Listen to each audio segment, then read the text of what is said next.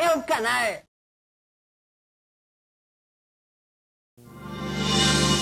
É domingo e o Taubaté Repórter traz uma dica interessante para você passear com a sua família.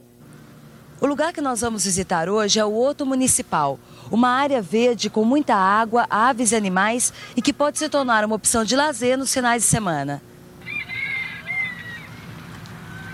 O local atrai muita gente, principalmente as famílias, que trazem as crianças para passear. Além dos diversos tipos de aves no lago, as crianças procuram também as araras amazonenses. O ambiente tem ainda os tucanos, capivaras e os macacos.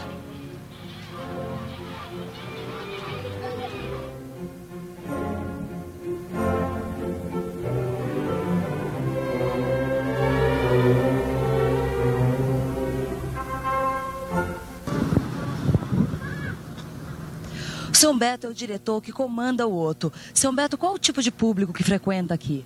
Nós temos um público de todas as camadas, principalmente as crianças. Os pais eh, comparecem com as crianças, nós temos um público de aproximadamente de 4 a 5 mil pessoas eh, durante a semana e durante a semana nós recebemos excursões de escolas de todas as cidades do estado de São Paulo.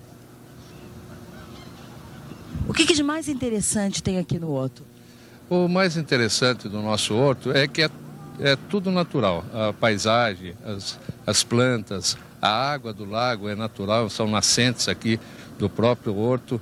E os animais e as aves que tem. Nós temos araras, nós temos coati, macacos de várias espécies. É o que mais atrai o público hoje. Sim, né?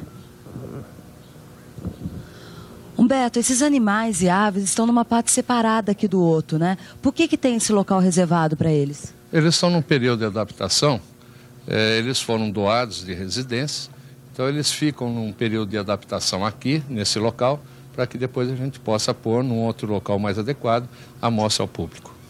Uma pessoa que tiver algum animal ou uma ave que queira doar para o outro, o que ela deve fazer? Ela deve nos procurar, fazer a doação e explicar, logicamente, como ela foi criada, para que a gente possa dar continuidade tanto na alimentação, na sua criação, e fazer a mesma adaptação e colocar à exposição para o público. O que, que, é isso que tem na tua mão? É um sabiá laranjeira.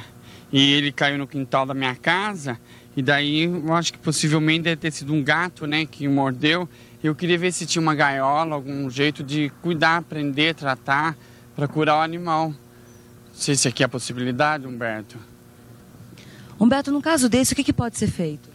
É, ele tem que ser levado para a zoonose da prefeitura, onde tem um veterinário, veterinário especializado, para que ele possa tratar da ave, para depois então colocar ou aqui no horto ou ser soltado em alguma mata. Beto, aqui nesse canto nós temos um casal de sagui que daqui a pouco vai virar uma grande atração aqui no horto, né?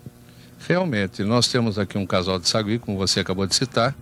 Ela está, vamos usar o termo bem brasileiro, barrigudinha.